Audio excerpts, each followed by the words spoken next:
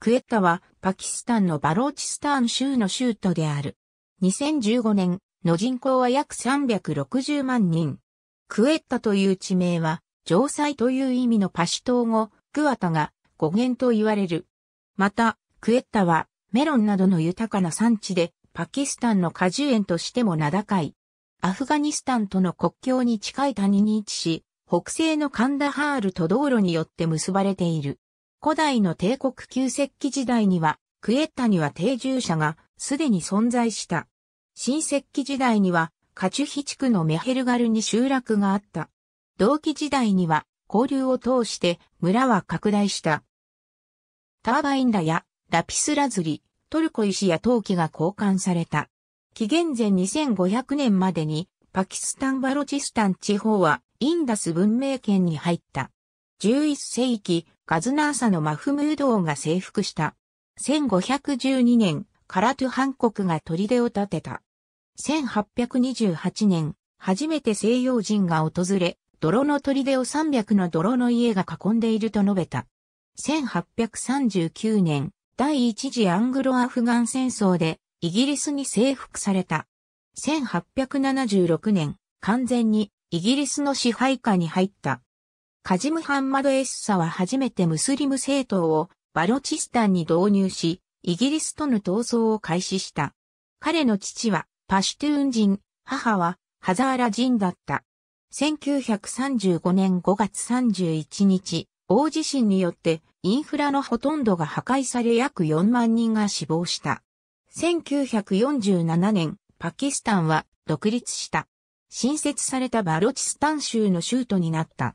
バロチスタンはパキスタンで最も後進的な地域だったので、自由は大きく制限された。1959年、アユーブ・ハーンがバロチスタン州を廃止した。ヤフヤ、ハーン、ムハンマド・ジアウル・ハクの独裁によって派閥主義が横行した。1971年、州が復活し再び州都になった。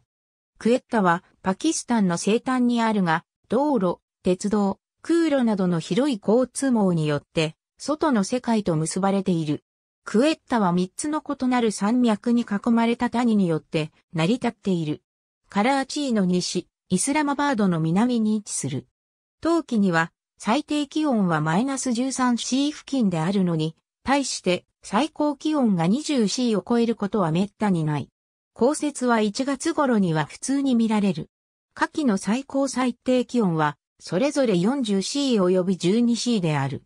国内の他地域とは異なり、クエッタにはモンスーンによる雨季はない。年中おおむね乾燥した気候である。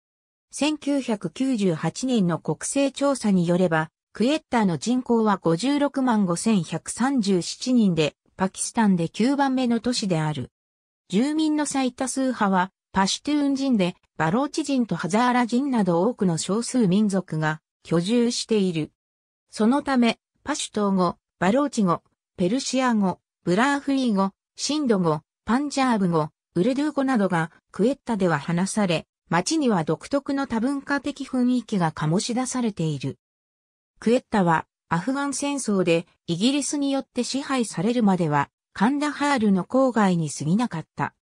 ほとんどのバローチ系住民はパキスタンが連邦制に移行し、バローチスターン州が成立した1970年以降に移住した新住民である。クエッタはそれ以来バローチスタン州の州都となった。クエッタの部族民は旅人に対する親切とホスピタリティで名高い。お客を歓待することは彼らの文化に欠くことのできない重要な部分である。ジンナーロードのメインバザールは頭にターバンを巻いたパシュトゥーン人の商人、店の前に腰掛けたハザーラ人の商人、赤い縁取りのある帽子をかぶったバローチ人の行商人、輸入物の布地を抱え裾の長い衣服をまとった遊牧民の女性などで溢れ返っている。スリルに満ちた冒険と楽しみで、一杯の旅行先として、クエッタは海外からも多くの観光客が訪れる観光名所でもある。クエッタ市内にはカンダハーリーバザールなど多くのバザールがある。アフガニスタン国境に面した州の州都であるため、ターリバーンの残存勢力、パキスタン中央に自治拡大を要求する反政府勢力などが入り乱れているほか、宗派対立も加わり、治安が悪化している。2011年10月6日には、クエッタ近郊の NATO 軍補給所で燃料輸送車40台が武装グループの襲撃を受け多数の車両が炎上、作業員1人が死亡した。また、同年12月30日には、元国会議員の家族の自宅前で車爆弾が爆発し、8人以上が死亡するテロが発生している。2019年4月12日、クエッタの市場でハザーラ人を標的とした自爆テロが発生。20人以上が死亡、48人が負傷した。後日、パキスタンターリバーン運動の一派がシーア派を対象にテロ攻撃を続けているラシュカレ・ジャングビと共同で行ったものとして犯行声明を発表している。ありがとうございます。